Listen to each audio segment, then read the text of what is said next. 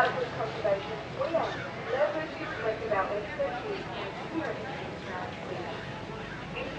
our diverse partnerships.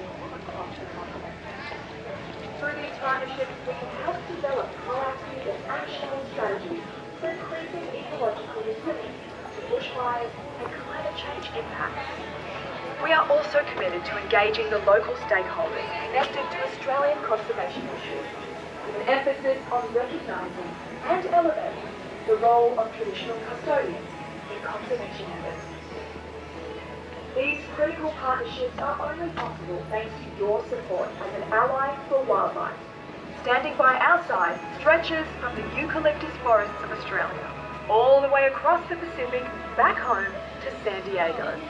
Here, we provide care for two platypuses at the safari park. The only two platypuses outside of Australia. Literally, the only two outside of Australia.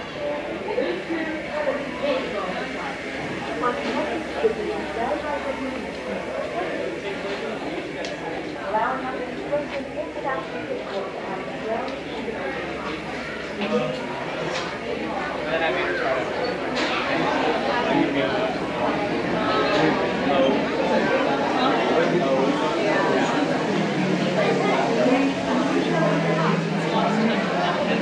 Cool.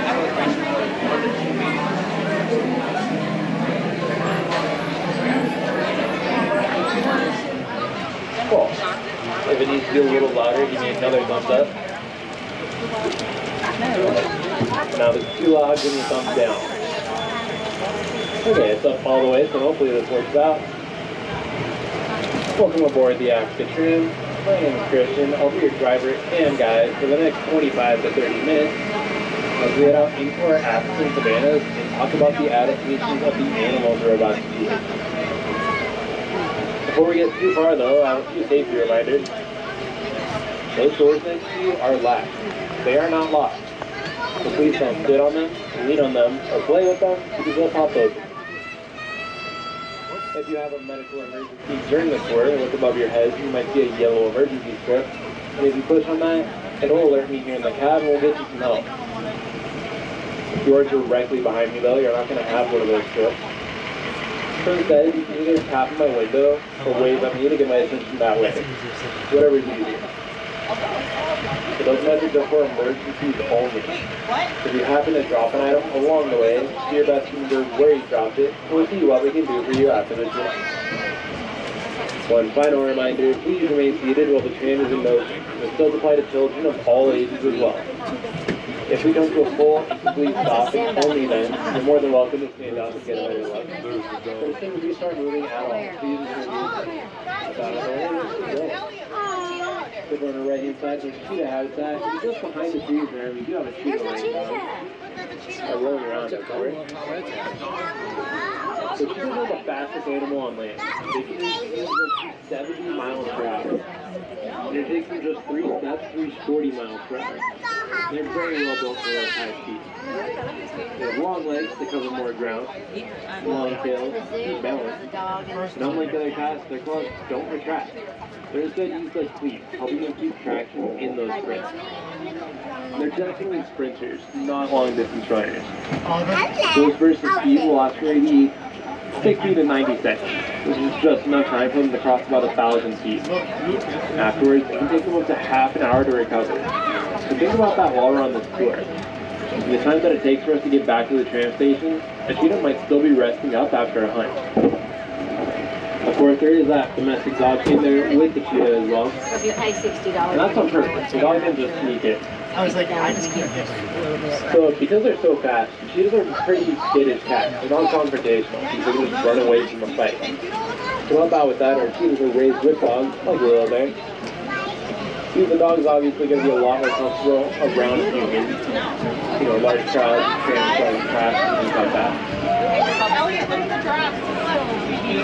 So here at the beginning of our tour, when our east half is the Oh, we won't be here too much longer. We are going to towards the end of the tour. As we our way back over to the train station. This goes off to our left right now. Over by that large structure, you can see one of our wildlife care specialists bottle feeding two of our baby giraffes. They were born at the beginning of February. About just over six months old now.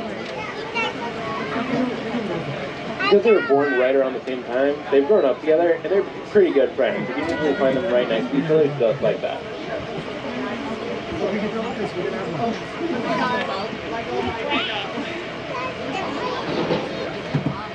Baby giraffe is more than six feet tall though, and need that height to able to feed from their mother. They're at 14 feet tall. Of course, we do have other giraffes just eating at the station right in front of us. We might be able to get a look at her long um, The rule of thumb is for every foot of height, it's about an inch up on a giraffe. Again, anywhere from 14 to 18 feet tall. So on average, their tongue's about a foot and a half long. So they'll use them to pull down tree branches that would otherwise be just out of reach.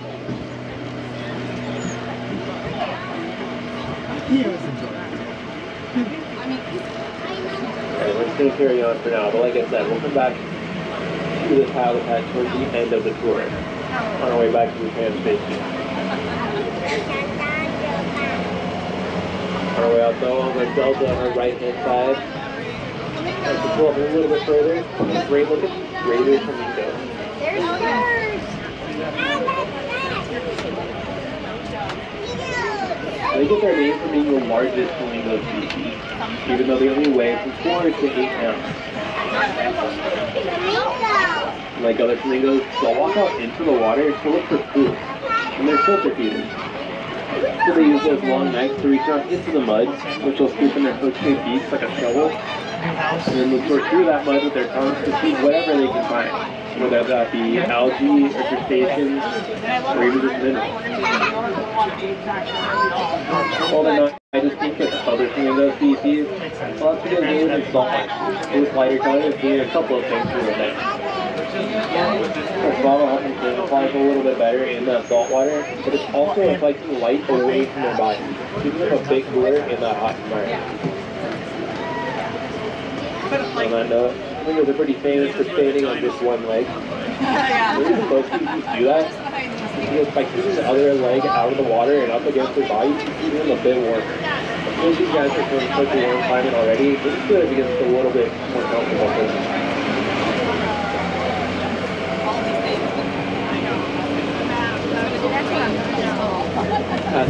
After I want to thank you all for coming to the Safari Park today. Uh, if you have interest in the two front doors, I go out Blue Ridge Zoo Wildlife the other thing the San Diego Zoo as well, so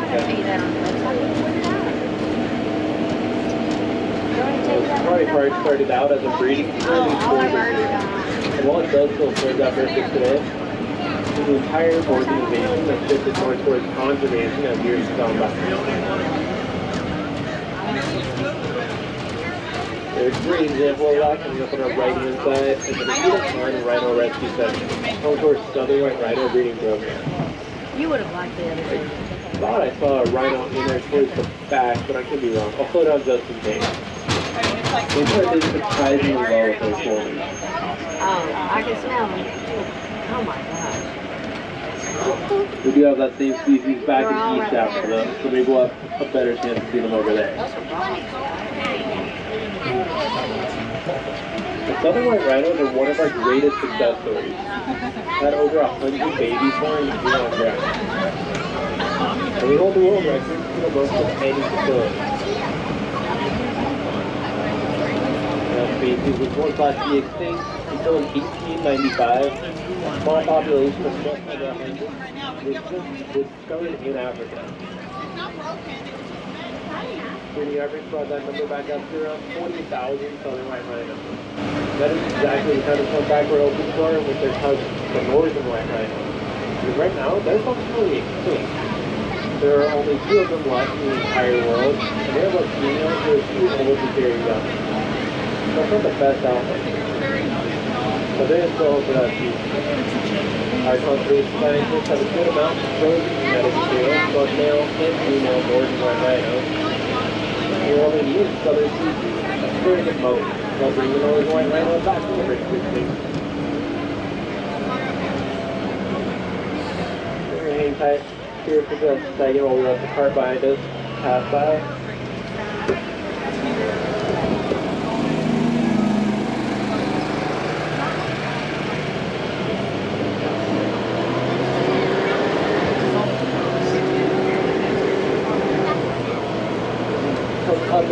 going to make your way to our South African habitat.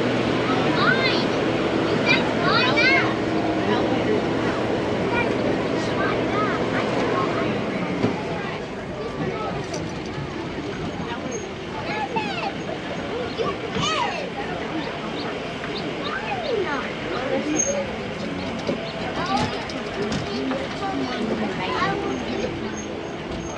Over on our right hand side is our bird marsh. Unfortunately, it's going to be empty right now because of the avian flu that's going around. We're just trying to keep our birds safe.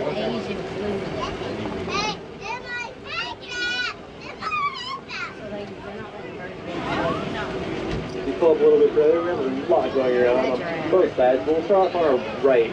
We're up next to these Pomeranian gazelles. I want to talk about their coloration really quick because it ties into other antelope species pretty well. It's easy for us to see with our eyes, that sandy brown color would help them blend in with the dirt that they're on. But many of their predators have limited color vision. You can't really see the color green. So same brown will them blend in with grass and other vegetation as well. The bottom half of their bodies are not for camouflage. That's going to help keep them cool, just like the greater flamingos. Out in the hot savanna, a lot of sunlight is beating down on top of those gazelles, so it's also being reflected back up from the ground. That white underbelly is again kind of acts like a mirror and reflects as much light and therefore heat in their bodies as it can. Might be wondering why they're on the right hand side of the stand. All by themselves. There's just the wide opening to our left.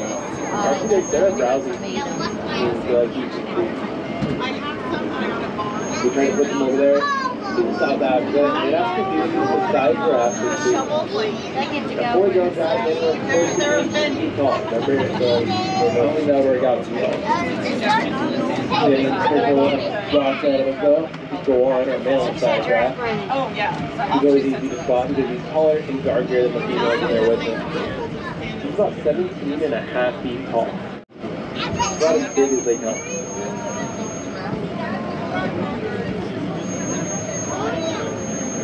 Most other species in the South Africa habitat though are grazers, meaning they like to eat from the ground. That way they don't have to compete with the draft for food. That includes the sable antelope laying down in front of us. They're a little bit darker than most other antelope species, but still being used for camouflage. They like to make their homes near tree lines and dense tree coverage. Their is going to help them blend in really well in the shade. Well, two all out horns over there. There are no males in that area. The thing about also have horns, but also compete for resources. Well, like I said, they live near tree lines. I mean, food isn't too much of an issue for them. There's usually a good amount of water nearby. California was There's not a lot of space under those trees. So you pour yourself into people's territory in the shade. They're the closest to Asia. Where it comes from.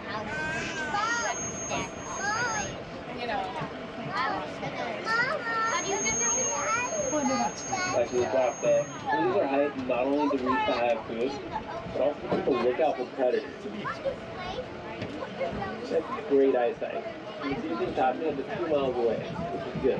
While they are pretty big, they're mainly just tall. Oh, they're kind of lanky and awkward in the way that they move. Not the best at fighting off threats. But there's elephants in If they can spot a predator from so far away, if they do hear Kelly, they just book it in the opposite direction.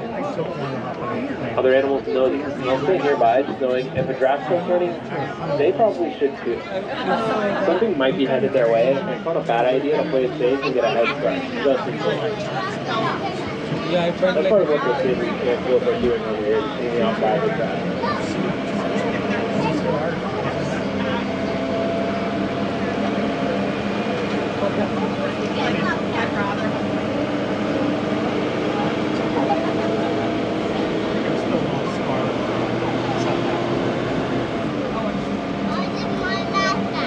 No, we're gonna keep them in here for now. The bats are causing too much drama. The bats have to take a rest.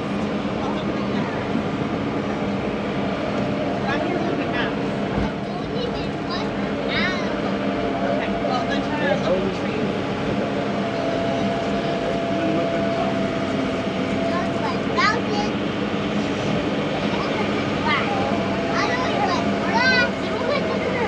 Wait, I spy them.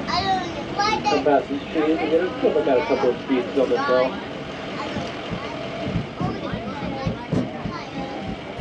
Up near the very top are those Cape buffalo. They're very dark. even darker than the sable antelope. But with that, they're not trying to blend in with anything. They're big and dangerous. They want to stick out as much as they can so everybody around them knows to stay clear. They're dangerous. So a little closer to us, we have this gemsbok with their lavender gray coat. That color doesn't help them blend in with that grass very well.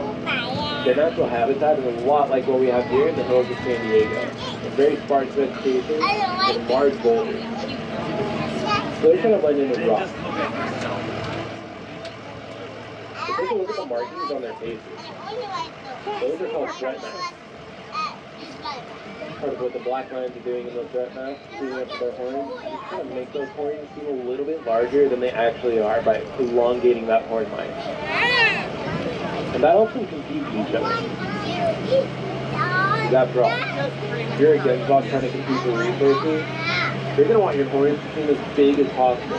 You're trying to intimidate the other Gemsbok away from those resources.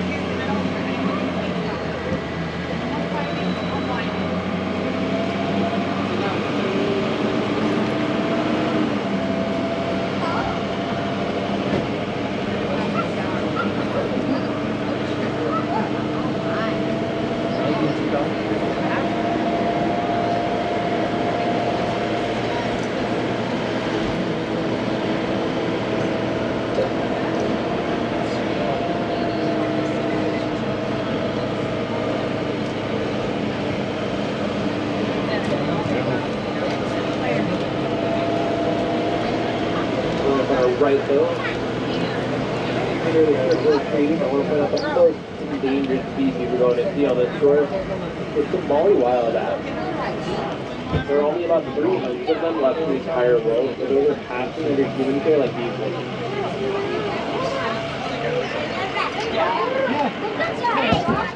The Their closest relatives that we have here are zebras. You saw that on their legs. Have this horizontal stretch called following marks. and They'll stand out really well against tall grass so that they can spot each other even with their heads down. Oh, yeah.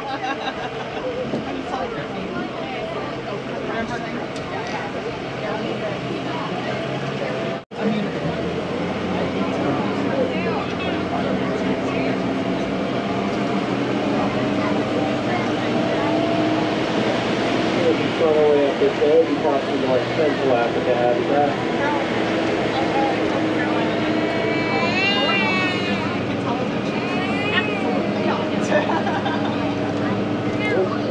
the structure down below. It looks like that green tarp. It's your black rhino walking. They're a little different from southern white rhinos. They're smaller and narrower. That'll help them out a lot. A lot of trees and large boulders, but they can kind of squeeze in between. They cover from predators. Since they can defend themselves that way, they don't really have a need to be social. They kind of prefer to stick to themselves because that means they only have to worry about their own protection and their own resources. It's a little bit easier that way. Like other rhino species, a huge part of the reason that they're endangered is poaching. Some poachers believe that rhino horn has medicinal properties. Maybe. So unfortunately, they are often a big photo of horn. If it's not true though, prickles in your hair and fingernails have the same material that rhino horn is made of. First it's called keratin, and it has no medicinal value whatsoever.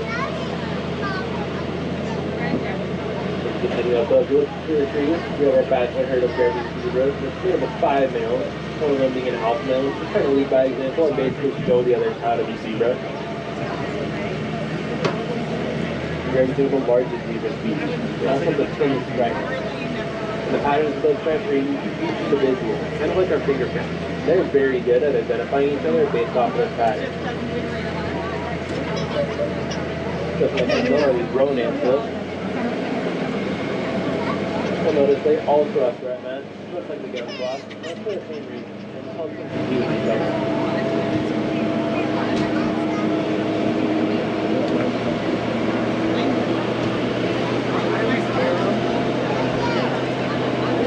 I gotta make a quick radio call.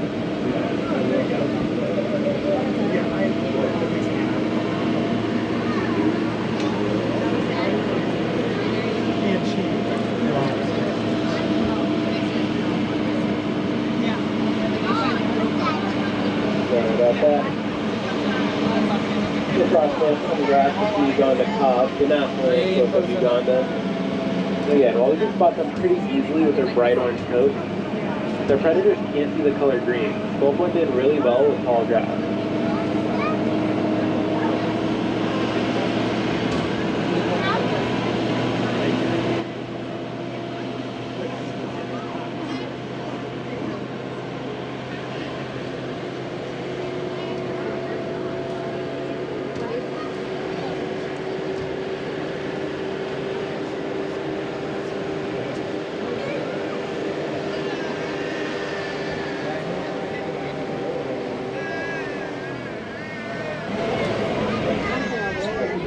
More to the bridge on another view that we'll have on our left hand side.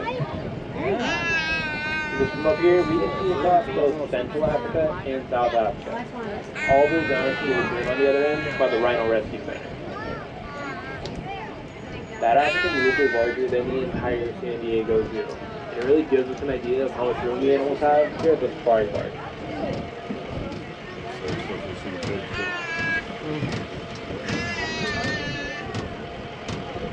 Over on our right hand side is our African forest habitat. And what's that ahead of us? Are some more roan antelopes. These are going to be the females. We saw the males earlier inside the zebras. They look, they look pretty much exactly the same. They also have threat mass and horns. So the females of this species are very territorial of water sources, extremes in water. Oh, you want your water? Males, on the other hand, know that females pretty much have territory figured out.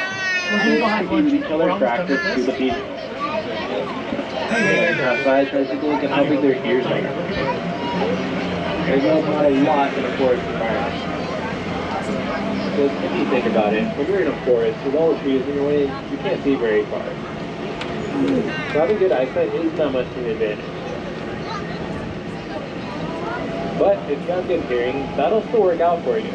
You can have some idea of whatever's going on without having a direct line of sight.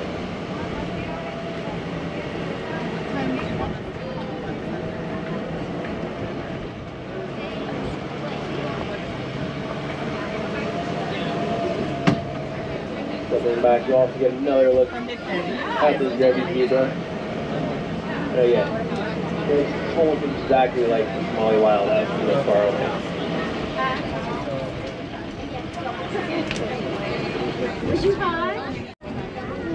Right below us here though on the side, we have this greater kudu with the spiraling horn. Well, of course, it's pretty impressive to look at now. These guys aren't even fully grown yet. When they adulthood, those horns will be up to six feet long. Next time. Oh, look, right? On my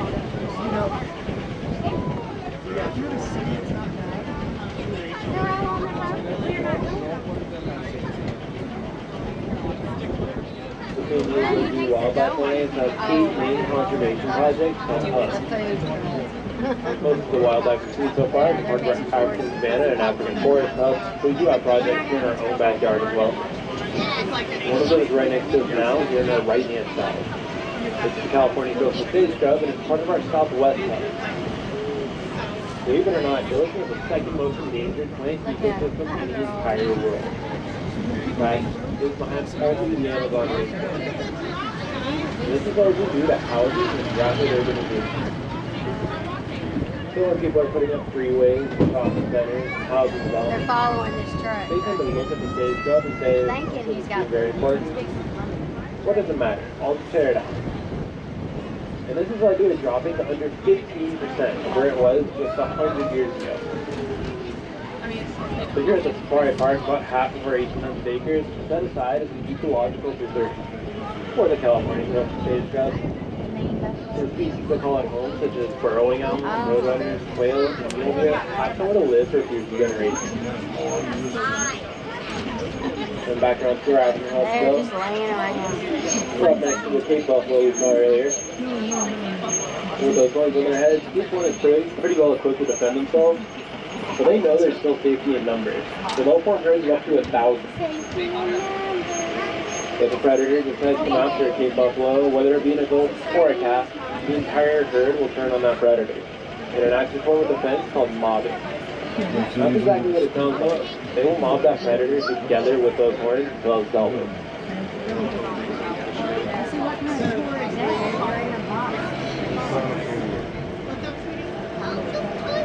It's a worker's truck, yes.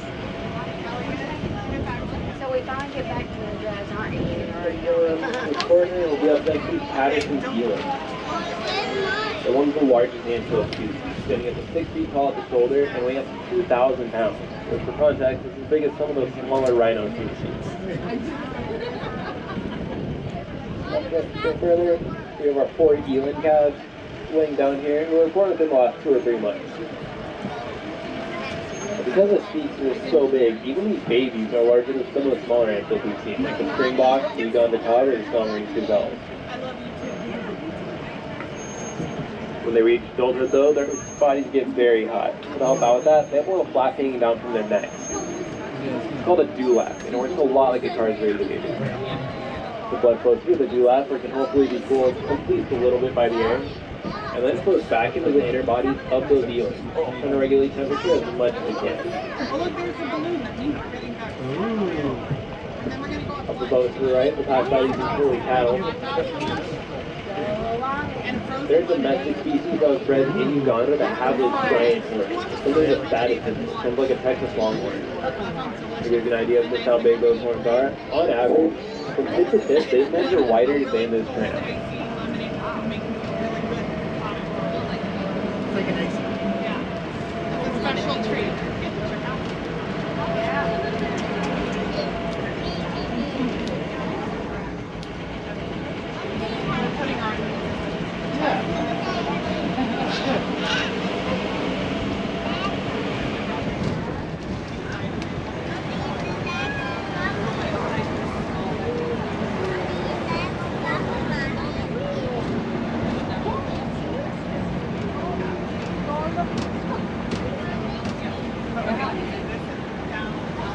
San Diego Zoo Safari Park is celebrating its 50th anniversary this year.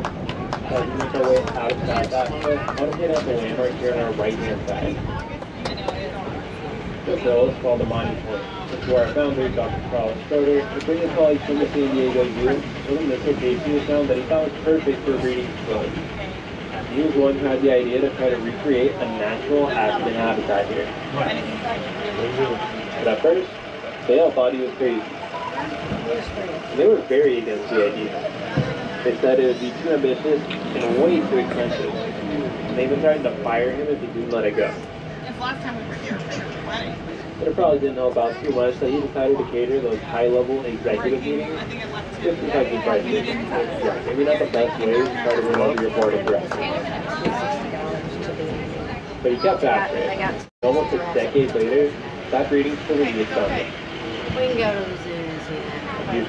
After that, in 1972, the Safari Park opened its doors to the public, bringing its own alongside the San Diego. And here we are 50 years later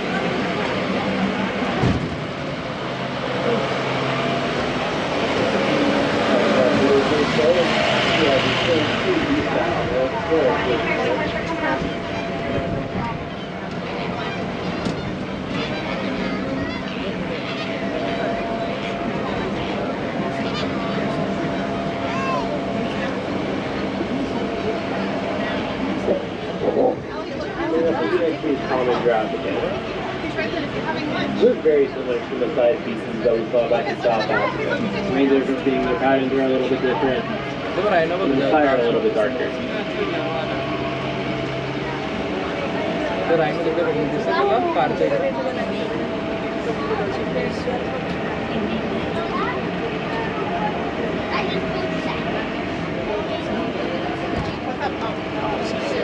Let's get another look at those two babies. But I do want to point out that on the hillside behind them, it was small antelope.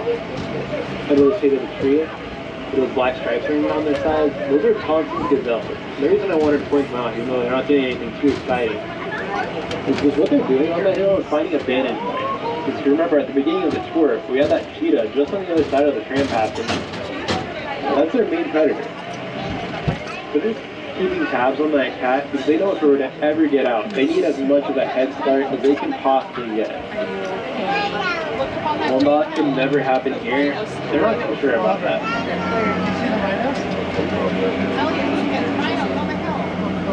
A little further up though, on the hillside behind that caravan truck coming down, we can finally see a couple of southern white rhinos. This is the most social rhino species. Because they live out in the savannah. They don't have anywhere to take cover.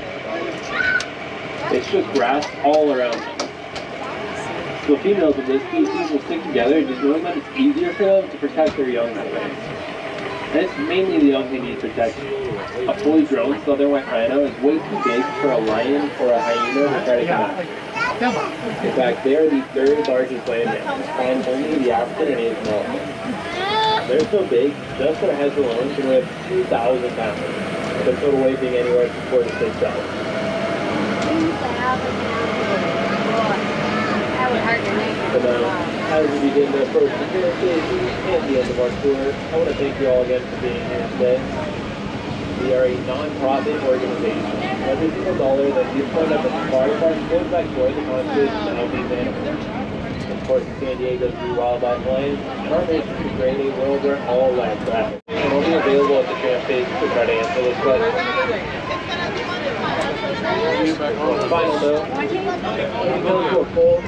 Now the on this side.